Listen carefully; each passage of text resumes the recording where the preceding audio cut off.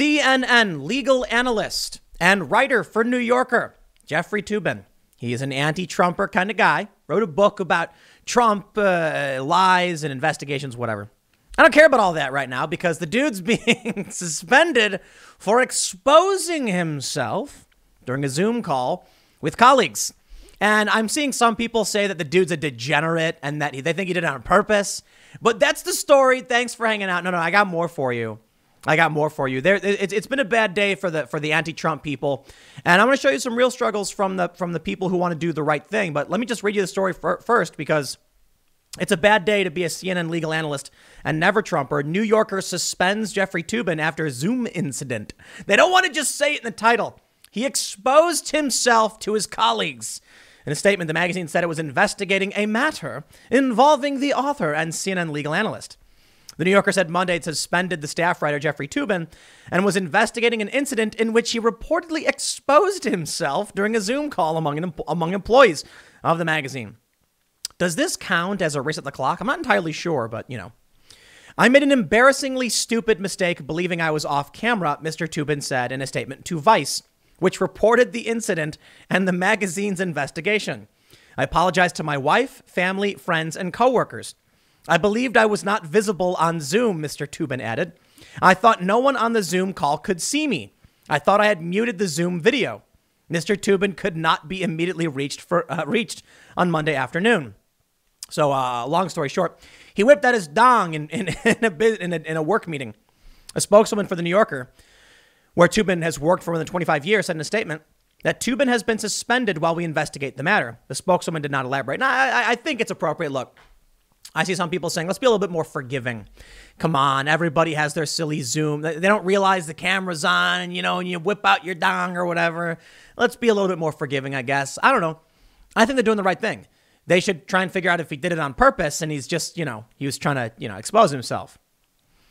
Mr. Toobin is also a senior legal analyst for CNN. The network told Vice in a statement that Mr. Toobin has asked for some time off while he deals with a personal issue, which we have granted. Mr. Toobin is the author of nine books, including The Oath, The Obama White House, and the Supreme Court. The Nine, Inside the Secret World of the Supreme Court, too close to call. He, he, he wrote some book recently. Here we go.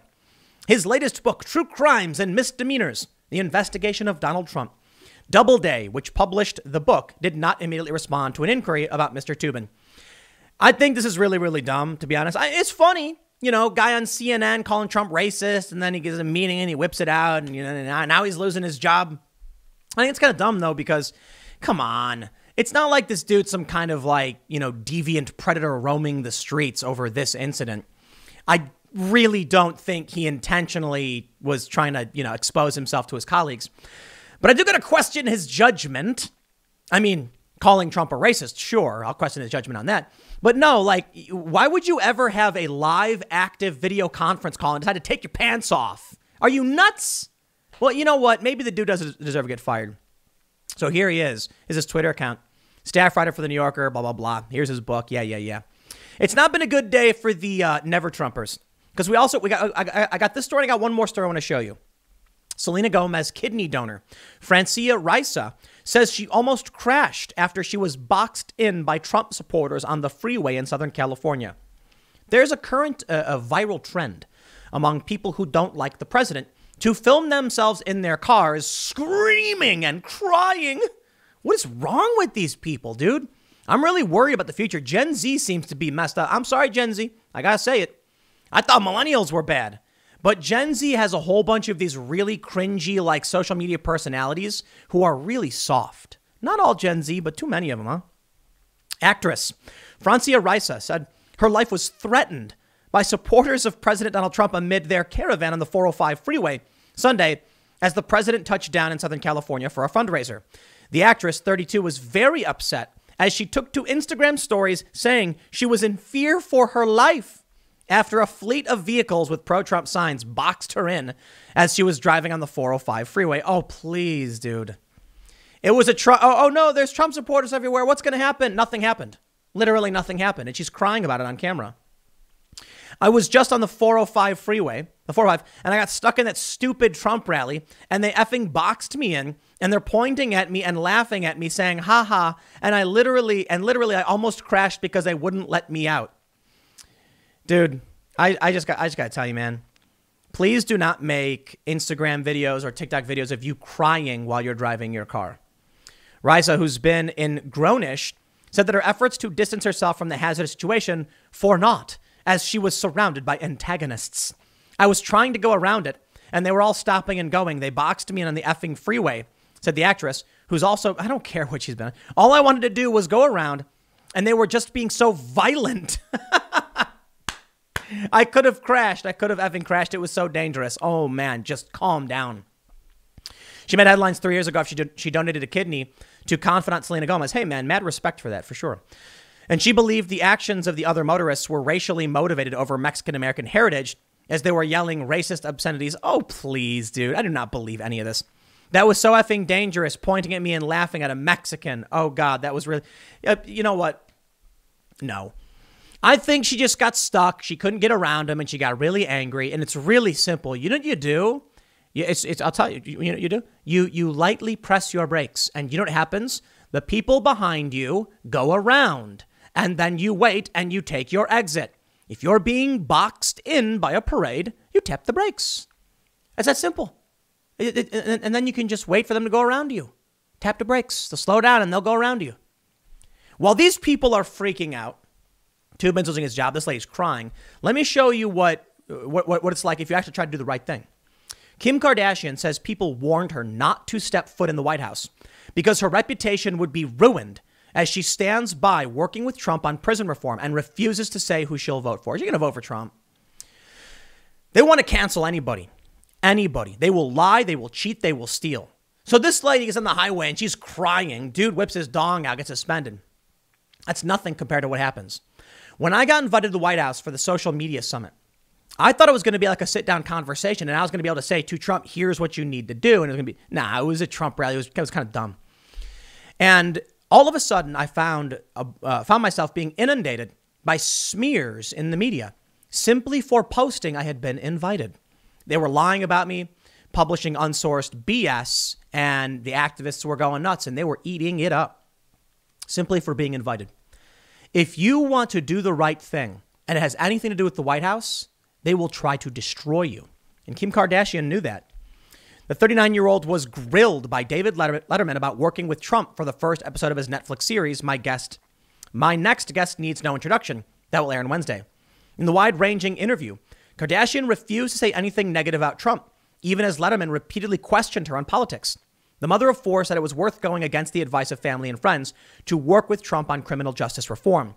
Her advocacy pushed Trump to commute the life sentence of Alice Johnson, who had spent more than two decades serving life without parole for a nonviolent drug offense. And Trump did it.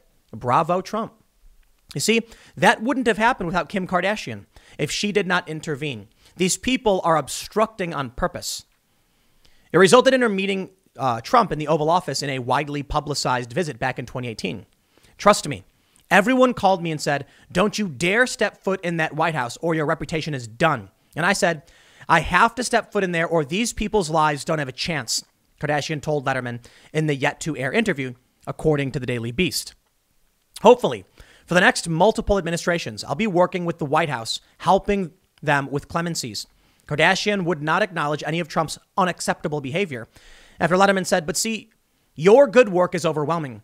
It's a positive force that diminishes what I consider to be unacceptable behavior by the president. What? What behavior? What's your behavior? Can you tell me? Probably can't. I mean, I can. Yeah, I, have criticized Trump. Uh, uh, I've criticized Trump and and you know his the people in his periphery a bit. Unacceptable behavior. I don't know. Questionable behavior that should be criticized. These people just gobble up fake news all day and then never see the corrections. He continued, but do you feel that what is being done on behalf of sentencing reform now, via the current administration, in any way allows the balance of democracy back in a corridor or viability? What, come on, dude. The TV star, who is currently studying to become a lawyer in California, has made subsequent visits to the White House. Went on to say, Well, I have no idea what you just said. Right. I mean, what was David? Look at this. Do you feel that what is being done on behalf of sentencing reform now via this current administration in any way allows the balance of democracy back in a corridor of viability. He didn't say anything. That's what you get from these people. I'm grateful for what you're doing, but it doesn't make me feel any better about the current administration, Letterman said, prompting Kardashian to say, I understand that. Despite being repeatedly grilled on her relationship with Trump, Kardashian would only say that she's extremely grateful for the work of the Trump administration regarding criminal justice reform. She added that she was determined to stay focused on her goals. Elsewhere in the interview, Kardashian refused to say who she is voting for. I know who I'm voting for, she said, without elaborating further. That means Trump. Because why would anyone hide if they were voting for Biden? In fact, most people would just lie and say they're voting for Biden. So she's voting for Trump. And I bet a lot of, I bet the Kardashians are going to vote for Trump. I mean, especially after, uh, you know, what Trump has done. When you break the, break the mold, when you break through the, the, the, the facade and you see what Trump is actually doing, yeah, he's not that bad. You know, he's got some problems. I uh, uh, give me any other candidate that's viable, and I'd consider it. You know, I was supporting Yang and Tulsi, even though I think both have you know really bad policies in certain areas. But uh, the Democrats don't want to do that. The Democrats put up Biden, and then they're shocked that someone like Tim Pool would say, "I'm going to vote for Trump." I guess I'm not the only one who said it. Remember when Joe Rogan said he'd rather vote for Trump than Biden? He said voting for Biden is like taking a flashlight with dying batteries on for a long hike, not going to work out. I'm the only one who feels this way. You gave me Tulsi Gabbard, and I disagree with her on nuclear nuclear energy and some and, and gun control. Well, now, and but so when I was you know supporting her, it was well before the riots and everything.